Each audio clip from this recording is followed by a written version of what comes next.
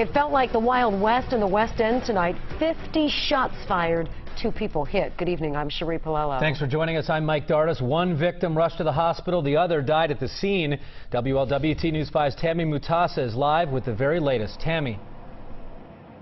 Mike and Sheree, police tell me dozens and dozens of shots have been fired, and this is as close as it gets to the scene. Investigators say the two men were gunned down in a parking lot on Poplar between Winchell and Freeman around 9.30 p.m. Police say one of the victims died here, and the other victim had to be taken to UC. Both of the victims are in their 20s. Police say up to 50 shots have been fired. Now back out here live, investigators tell us they are are interviewing some witnesses, but as of this hour, police have not yet named a suspect in this massive shooting. Reporting live in the West End, Tammy Mutasa, WLWT News 5. All right, Tammy, thank